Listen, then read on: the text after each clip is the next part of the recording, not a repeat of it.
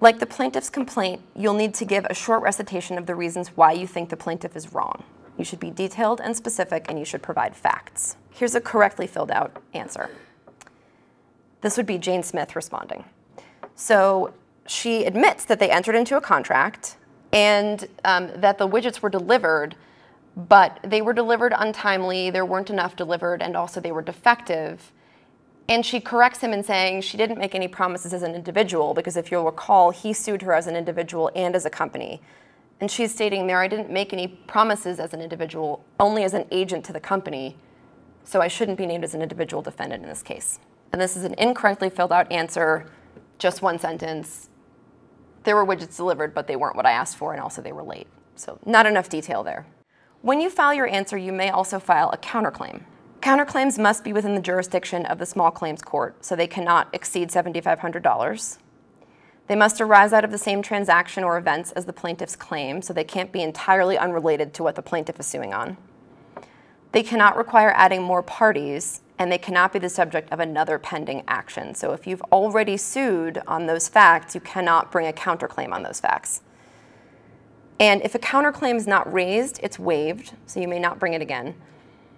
If a counterclaim is in excess of the small claims court jurisdiction, it will be transferred to county court.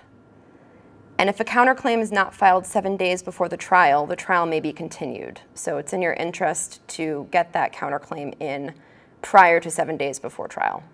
In filling out the counterclaim form, this is once again page two of the complaint, you'll need to give a short recitation of the situation, just as the plaintiff did. You should be specific, itemize the amounts owed, and state the applicable legal theory. Once again, breach of contract, security deposit dispute, civil theft, etc. And if your claim is based on the enforcement of a restrictive covenant or security deposit dispute, then you'll need to include the address of the property or residence that gives rise to the dispute. Then there are some checkboxes. Uh, the amount of the counterclaim does not exceed $7,500. The amount exceeds $7,500, but you will accept $7,500 the amount exceeds and you would like to transfer to county court, which is limited to $15,000, or district court, which has no limitation.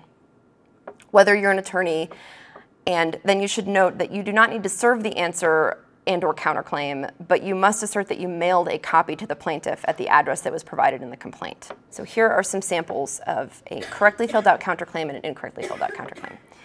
This is correctly filled out.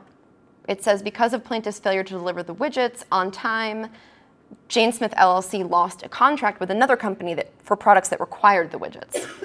And Jane Smith is seeking damages of $1,000 that were caused by John Doe's failure to meet the contract. This one is incorrectly filled out. It just says, I lost $1,000 on another contract because I got the wrong widgets. So there's not enough information, there are no dates, et cetera. The defendant's fees differ depending on um, the amount of the plaintiff's claim and then also whether the defendant files a counterclaim. And once again, the fees can be found on the court's website at forms and then filing fees. And as with the person filing the claim, you may ask for a fee waiver if you qualify as indigent. That's forms 205 and 206, which are available online. Just a reminder regarding settlement, you should remember that at any time in the process, either party can initiate settlement discussions. And if you reach an agreement with the other party before the hearing date, then you should document it in writing, have each side sign it, and present that information to the clerk of the court so the case can be dismissed.